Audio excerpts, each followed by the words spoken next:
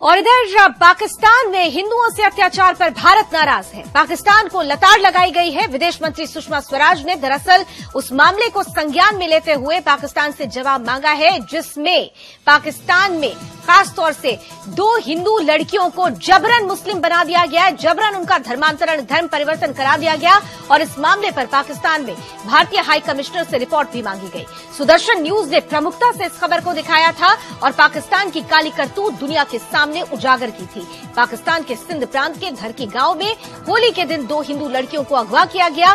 तेरह और पंद्रह साल की हिंदू नाबालिग लड़कियों की शादी, अधेड़ उम्र के, उनसे दोगुनी उम्र के लड़कों से, आदमियों से, मुस्लिमों से करवा दी गई और उसके बाद जबरन इस्लाम स्वीकार कराया गया। वीडियो में भी साफ़ तौर पर देखिए कि किस तरह से पाक अपनी घटिया मानसिकता वाली सोच को ज़ाहिर कर रहा है। इस वीडियो में साफ़ साफ़ देखा जा सकता है कि हिंदू लड़कियों के चेहरे पर खौफ है, डर है। सुदर्शन न्यूज़ की खबर पर एक बार फिर से सरकार चेती है, बड़ा एक्शन लिया गया है और इस मुद्दे को सुदर्शन न्यूज़ ने ही अपने प्लेटफॉर्म पर सबसे बड़ी जगह दी, जिसके बाद भारत सरकार की तरफ़ से इस पर कड़ी प्रतिक्रिया आई है। विदेश मंत्री सुषमा स्वराज ने किस तरह से पाकिस्तान को लताड़ लगाई है और जवाब तलब किया है आप खुद सुनिए।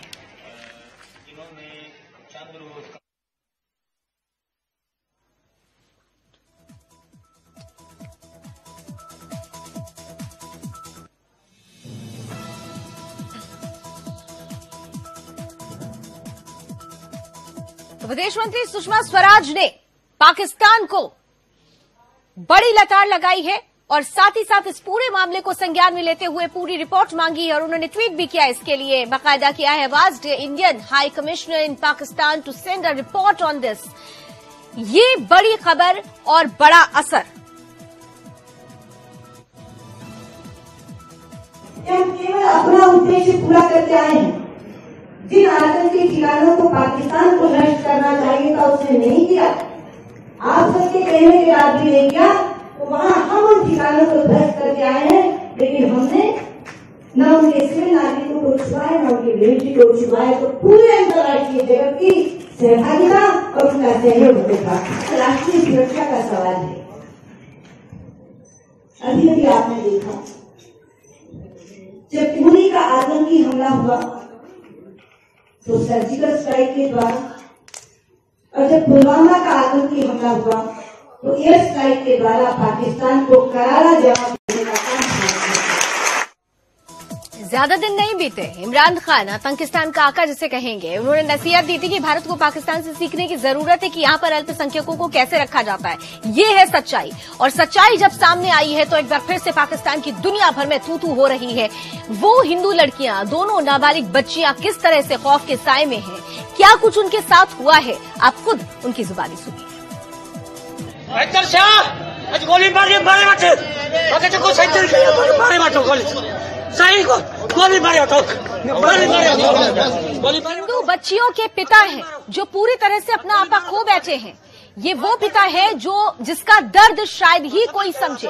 ये वो पिता है जिसका दर्द पाकिस्तान में कोई सुनने वाला नहीं है, लेकिन इस पिता के दर्द को, इसकी आवाज़ को हमने उठाया। सुदर्शन न्यूज़ ने प्रमुखता से इस खबर को दिखाया कि पाकिस्तान में किस कदर अल्पसंख्यक हिंदुओं के साथ अत्याचार हो रहा है, उनकी बेटियों के साथ, उनकी बहनों के साथ किस कदर जबरन उनका धर्म परिवर्तन कराया जा रहा है। वहाँ पर हिंदू खौफ के साय में जीने को मजबूर है। जब हमने पिता के इस दर्द को, इस चीख को अपने प्लेटफॉर्म पर जगह दी तो इसके बाद भारत सरकार भी इस खबर पर चेता है। विदेश मंत्री सुषमा स्वराज ने इस पूरी खबर पर पाकिस्तान को लताड़ लगाते हुए इस पर पूरी विस्तृत रिपोर्ट, पूरी विस्तृत जानकारी मांगी है।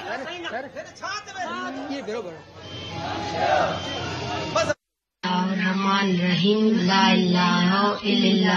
मोहम्मद रसूल रहमान रहीम ला इलाहा मोहम्मद रसूल इल्लल्लाह अल्हम्दुलिल्लाह रब्बिल आलमीन। ये बच्चियाँ जो यहाँ पर आज दस उन्नीस तारीख पहुँची हैं पंजाब के अंदर। रहे हैं और साथ ही साथ राष्ट्रवादी चिंतक अमित जी हमारे साथ अमित शंकर जी जुड़ रहे हैं। सौरभ सबसे बड़ी बात ये ये बातें हम लगातार दिखाते रहे इमरान खान ने भी कुछ दिन पहले ही कहा था कि भारत को पाकिस्तान से सीखना चाहिए। ये सीखना चाहिए। ये हालत है, वहाँ के वहाँ के जो अल्पसंख्यक हिंदुओं हैं। सौरभ।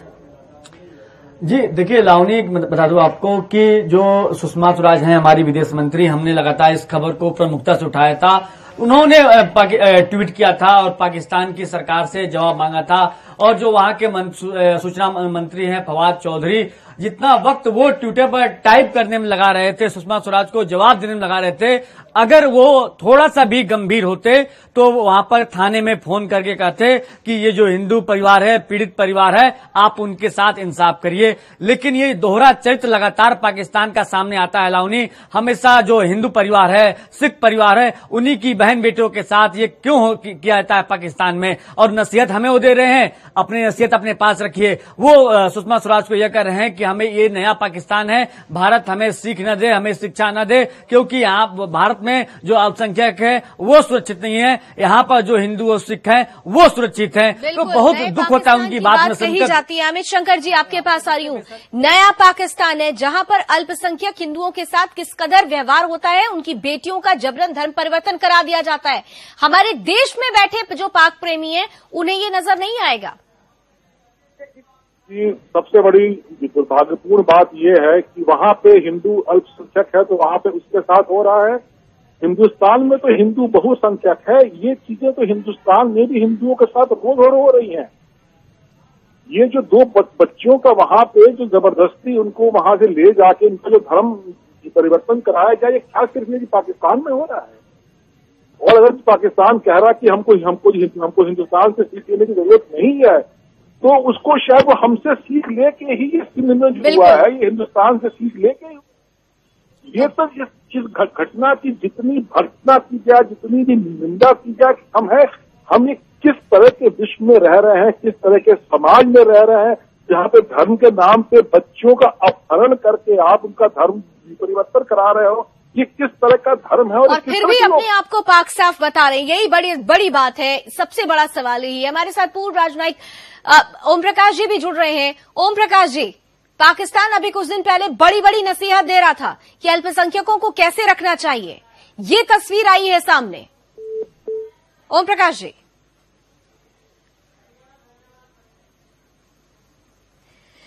तो पाकिस्तान नसीहत दे रहा था, लेकिन अपने गिरबान में पहले झाँक कर नहीं देख रहा था। कहते हैं कि जिनके घर शीशे के हों, उन्हें पत्थर नहीं फेंकना चाहिए। आप खुद देखिए कि ये पाकिस्तान की वो सच्चाई है, जो पाकिस्तान प्रेमी, जो भारत की सरजमी पर रहते हैं, जो गुणगान करते हैं पाकिस्तान का, उन्हें देखना चाहिए कि वहाँ पर रहने वाले हिंदुओं के साथ किस कदर अत्याचार होता है, उनकी बेटियों के साथ किस कदर अत्याचार होता है, और अगर भारत इस पोजीशन में आ चुका है कि उसकी आवाज़ उठने पर बड़ी धमक होती है। तो भारत को ऐसे लोगों के साथ खड़ा होने की ज़रूरत है, ऐसे हिंदू परिवारों के साथ खड़ा होने की ज़रूरत है और उनके खिलाफ जो लोग इन पर अत्याचार कर रहे हैं, उनके खिलाफ इंटरनेशनल प्लेटफॉर्म पर बड़ी कार्रवाई उठाने की भी ज़रूरत है। हम उम्मीद करते हैं कि जो खबर हमने दिखाई, उसका असर शुरू हो चुका है और एक बड़ा असर, बड़ी तस्वीर हमारे सामने जल्दी होगी। बहुत बहुत शुक्रिया।